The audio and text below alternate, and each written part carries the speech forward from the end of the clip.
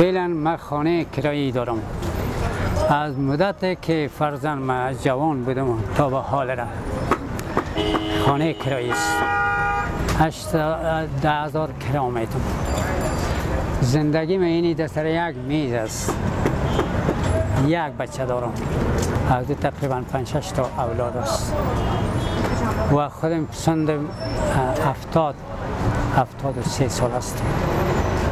به اینی سال مریض هم هستم. تکلیف فرستادم دارم. تکلیف سینام دارم و ارامت زمام دارم. پاکستانم رفته و اقتصادم ضعیف است. تقریبا اینی میره از چل بالا میشه و کم نمیشه. روزانه چه قواعد داری؟ این دکانداری سی چیز ما برای روز 60 پیشترم برای بیادر گفتم. 60 رو کار کرده بودم.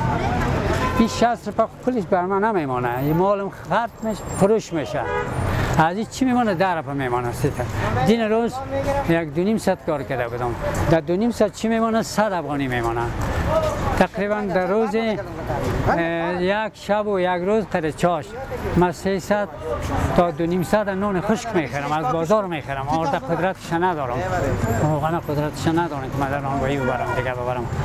چند سالم با اینی اندازه شدم. 18 19 سال است که اینی میجا میشینم اینمی دکاندارا اینمی زرگر. خانه شون آباد مرا اینمی جای دادن. اگر این امنیت آمد دیگه آمد مثلش که عملیاتی هم هستم یک چشمی هم عملیات است این هم عملیات است کمک کنه قدما این ازم بغل که رو مرا بخیزونه. فهمیدی ما نمیته نمیته جواب میته از وطن خود من رفتن نمی‌تونم ما وطن خود دوست فهمیدی بعد از که جوانای ما فرار شد. اینمی جوان ها اینجا تحصیل کرد. اینی جوان ها اینجا درس خوان.